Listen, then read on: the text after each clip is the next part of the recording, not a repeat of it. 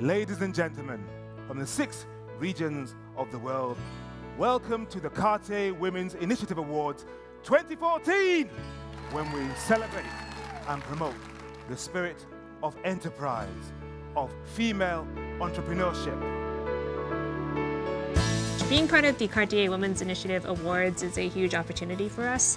It's a great recognition and an honor to be named as people who can make a difference in this generation and in the future. Initiatives like the Cartier Women's Awards may, may be life-changing for lots of people. It's inspiring to learn about different work that all of us are doing in di different parts of the world. We want people to look upon these women receiving this award as example. We need to encourage people to be more entrepreneurial. We need to, to encourage people to be more audacious. They are so strong and so good and uh, they do so different things too. I think it uh, gives us the possibility to supersize our vision, to encourage us to move forward and believe in ourselves. Just sharing ideas and inspiring one another and supporting one another. It makes us, it gives us a lot of pride and it supports us and makes us want to grow this further.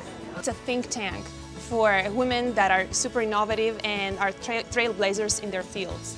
Being a young African social entrepreneur, even though I'm a Ghanaian, but I'm not born for Africa, I'm born for the whole world. Thank you for inviting us here. Female entrepreneurs, I think the numbers are very um, low. The statistics show that um, there aren't many of us around. We're often not surrounded by female entrepreneurs. Actually, we're never surrounded by female entrepreneurs. Winners are... From the USA, Eleni Antoniadou. For me, it is such an opportunity to network with amazing women in so many different sectors from different parts of the world that have changed lives. From Italy, Carla Delfino. Many times women don't think they can make it. And Cartier is giving us this vision. You are amazing. You can make it. From Nigeria, Achenyo Idachaba. Bravo can't even begin to explain it in words. This is such an honor and a privilege to be here on this platform as the laureate representing Sub-Saharan Africa. It really is an honor. From Egypt, Mariam Hazem.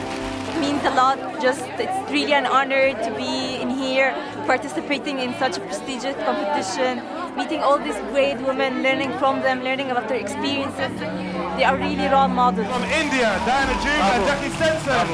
After we finish all of the festivities here in France, we go back to India and we get more work done. Yep. Keep working. And from Brazil, Bel Pesce.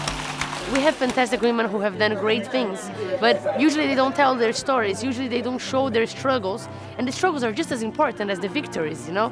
So I, I love the way that Cartier is taking upon them to get some of these stories, show to the whole world, and create more role models so that a new generation can follow us and be even better than we will be, you know? This is, this is great to see.